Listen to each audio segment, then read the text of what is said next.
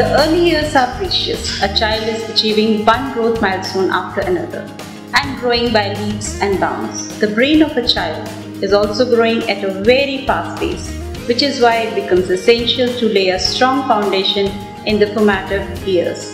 DPS Dwarka Expressway is a 21st century school. We desire to set an approach to learning that incorporates inquiry, research, analytical thinking, and ethical approach that becomes a lifetime habit.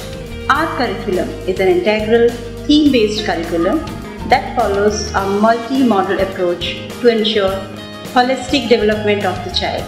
We focus on six learning areas environmental sciences, language, literacy, numeracy, and logical reasoning, motor skill, physical development, aesthetics and creative expressions, social and emotional development all these learning areas integrated to help the child to build strong learning skills.